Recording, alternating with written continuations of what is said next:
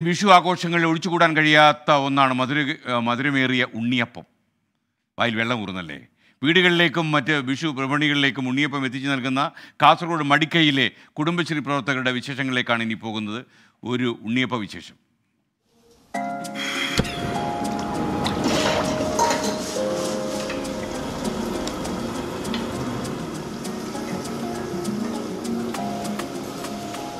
വിഷുക്കണിയിലും ആഘോഷം മധുരമാക്കുന്നതിനും ഉത്തര മലബാറുകാർക്ക് ഉണ്ണിയപ്പം അല്ലെങ്കിൽ കാരയപ്പം നിർബന്ധമാണ്. വിഷുത്തലേന്ന് രാത്രി ഉറക്കമൊഴിച്ചിരുന്ന് ഉണ്ണിയപ്പം ചുട്ടെടുക്കുന്നതും പതിവ് കാഴ്ച.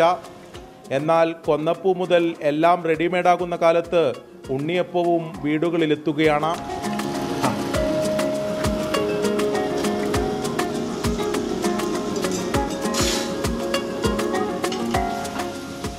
മടിക്കൈ കീക്കാംകോട്ടെ മൂന്ന് കുടുംബശ്രീകൾ ചേർന്ന യൂണിറ്റിൽ കഴിഞ്ഞ കുറച്ചു ദിവസങ്ങളായി ഉണ്ണിയപ്പ വിതരണം തകൃതിയാണ്.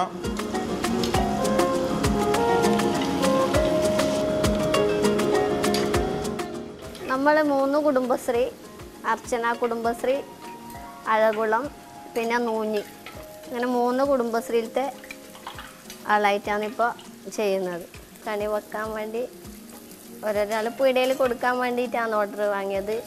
നമ്മൾ ഉപയോഗിക്കുന്നത് പച്ചരി മൈദപ്പൊടി കുറച്ച് അവലും പഴവും. ഓരോ ദിവസവും രണ്ടായിരം മുതൽ അയ്യായിരം വരെ അപ്പമാണ് ചുട്ടെടുക്കുന്നത്. വിഷുത്തലേന്ന ഇന്ന് തിരക്ക് കൂടുമെന്നാണ് ഇവരുടെ പ്രതീക്ഷ.